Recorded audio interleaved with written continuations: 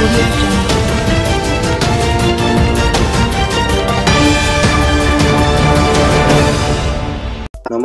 दोस्तों, अगर आप चाहते हो कि भारत पुलवामा हमले का पाकिस्तान से बदला ले तो इस वीडियो के नीचे कमेंट बॉक्स में अपनी राय ज़रूर लिखिएगा दोस्तों।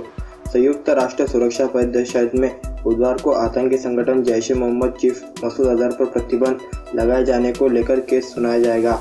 वही पूरे विश्व की निगाहें चीन पर टिकी हुई है। क्योंकि वह इस मसले पर तीन बार अपने पहले विरोध कर चुका है। चीन पर दबाव बढ़ाने के लिए अमेरिका सहित कई देशों का प्रयास जारी है। लेकिन इस संबंध में आखिरी फैसला चीन का ही होगा। जिसने इससे पहले भी तीन बार मसूद को अंतर्राष्ट्रीय आतंकवादी घोषित करने के प्रयास को विफल कर दिया था। इस पर सबकी निगाहें लगी है कि पुलवामा हमले के मद्देनजर अंतर्राष्ट्रीय दबाव के बीच चीन इस बार क्या निर्णय लेता है, जो लगातार पाकिस्तान को बचा रहा है।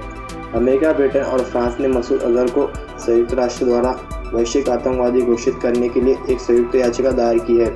रूस ने भी मसूद अजहर पर भारत के रुख का समर्थन किया है।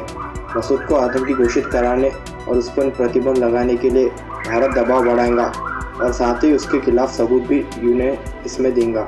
पठानकोट आतंकी हमले के बाद से मसूद अजहर के खिलाफ यह प्रस्ताव चौथी बार लाया गया है। पिछले सभी मामलों में चीन इस प्रस्ताव पर तकनीकी रोक लगा रहा है। हालाँकि इस बार भी चीन अभी मसूद पर चुप है और उसकी प्रतिक्रिया नहीं आई है।